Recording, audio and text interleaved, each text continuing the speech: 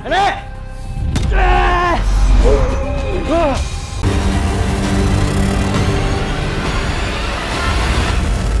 Lu gue tungguin lu lama banget sih nyampe nya. Lu habis olahraga, mas kosan. Hah? Enggak, gue Eh, udah bantuin gue buangin barang-barang nenek ya. Biar kita nggak sial tujuh turunan. Yuk. Eh, tar dulu gue mau cerita sama lu. Apaan udah nanti ceritanya. Mending lu bantuin gue buang-buang barang nenek. Lu paling mau cerita soal vision lu kan? Kok lu tahu? Iya, sekarang kalau bukan vision lu apalagi yang lu ceritain? Thank you.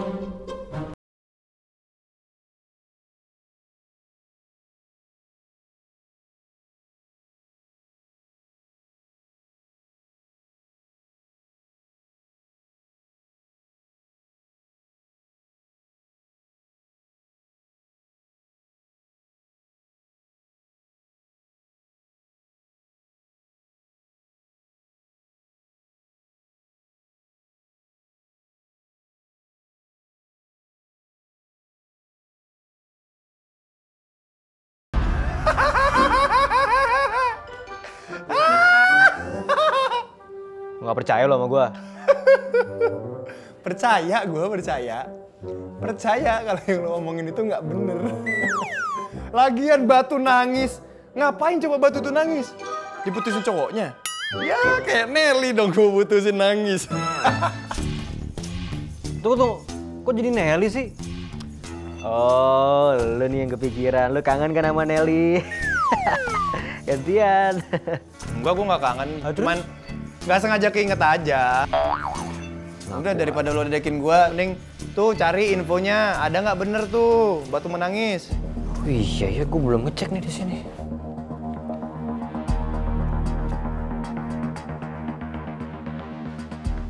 Ada nggak? Bro, ada bro. Nih, nih, nih. Hah, nih. serius lu? nih. Batu menangis adalah batu yang memiliki air yang sekehendak bagi yang memilikinya. Bisa menjadi bencana kalau jatuh di tangan orang yang salah.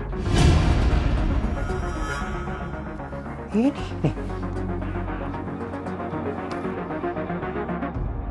Wah, berat. Jadi beneran ada. Ya menurut lu, itu kan tulisan nenek. Nggak mungkin lah nenek bohong. Bang, ya udahlah, kita cari tuh batu. Deh. Oh, ngapain harus dicari sih? Udahlah di sini aja lu nyari-nyari yang enggak-enggak aja sih. Eh lu nggak denger tadi katanya, barang siapa ini jatuh ke tangan orang yang salah jadi bencana, bro. Iya Bencana. sekarang. Oke. Sekarang gini, lu mau nyari batu itu di mana? Ada nggak infonya di situ? Cuman dijelasin doang batu menangis bla bla bla bla bla bla bla tempatnya di mana juga nggak dikasih tahu sama nenek. Ya juga. Ya iyalah. Oke, tangannya di bawah aja mas. Oke, dua, satu, dua, oke, bagus satu, dua. Ah, mbaknya mungkin bisa ini nyindir ke masnya gitu. Oke, siap. Oke, yuk. Satu, dua, oke, nice. Satu, dua. Bagus. Ah, Mas Arya, saya izin ke toilet dulu ya. Ah, ya udah, kalau gitu kita break dulu ya. Nanti kita lanjutin lagi. Iya, saya aku anterin ya. Oh, nggak usah, nggak usah. Aku bisa sendiri. Oh, ya udah, hati-hati, Tunggu sayang. bentar ya. Iya, iya.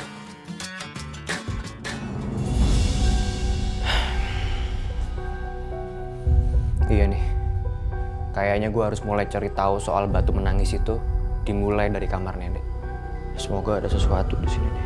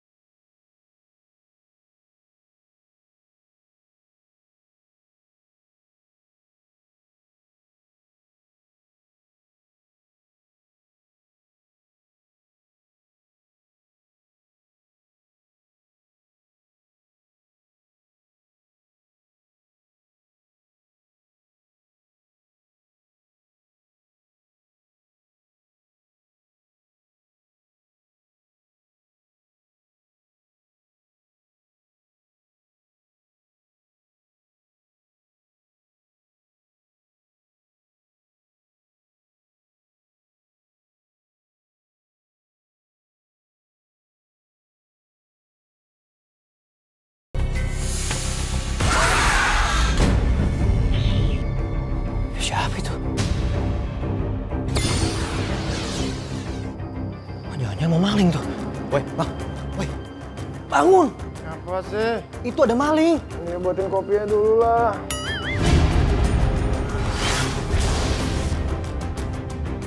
Bang, serius gua? Ada maling di pengarangan rumah kita. Maling? Iya, tuh kayak maling deh. Mana?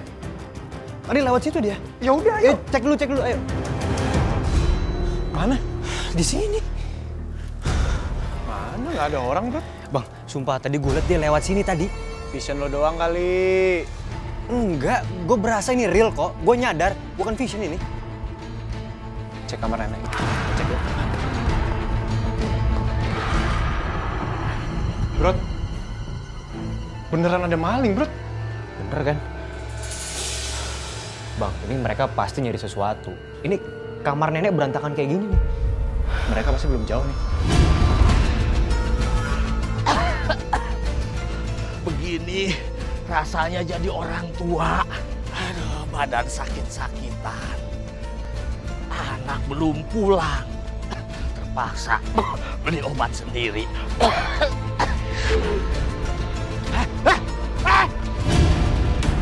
Bro, itu mereka, bro. Ayo, Mereka lagi. Hei, mau ke mana? Eh, mau ngapain? woi! Bah, tadi siapa yang lewat? Itu mereka pasti anggota sekte itu. Bah, kita sekarang udah tahu nama perkumpulan mereka.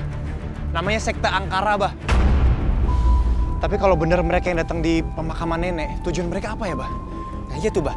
Mereka ngapain sih ke sini? Ngacak-ngacak kamar nenek lagi? Dulu mereka pernah melakukan hal yang sama.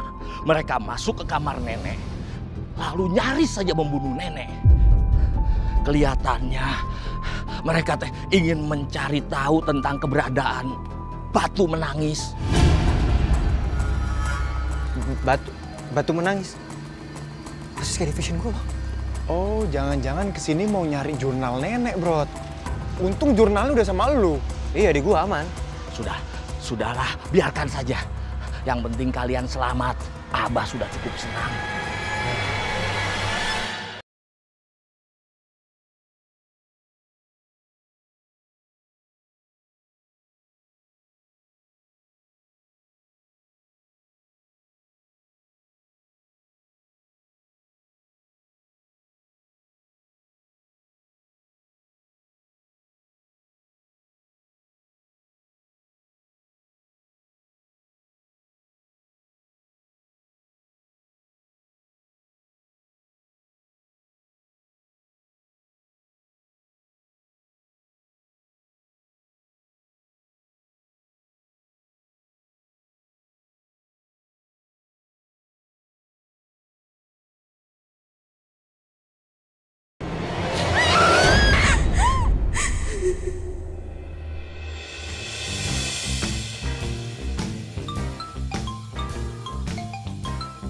Bang, ada yang nelpon tuh.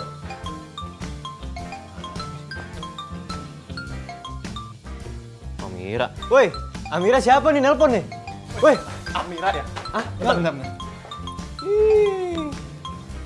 Halo Amira sayang. Apa kabar kamu? Kok kamu baru ngabarin aku sekarang sih? Besok ada acara nggak? Jalan yuk. Aku kosong besok. Kalaupun aku ada acara, aku kosongin buat kamu. Kamu mau ke mana? Bilang sama Langit, aku temenin. Sampai ketemu besok sayang. Dah. Dah. lu urusan cewek aja lu. Ah, Apaan sih lu? Udahlah, lu istirahat sana, tidur di rumah. Ih, gue besok mau jalan dulu sayang. lu tahu tahun diri sih lu. Gila lu ya.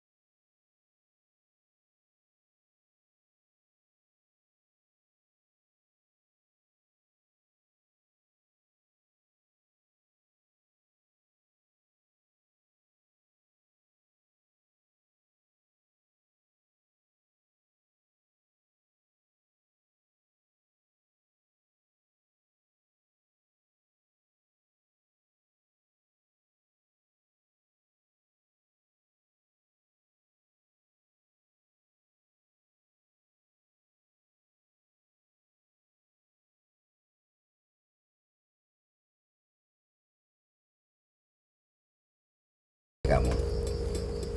Kalau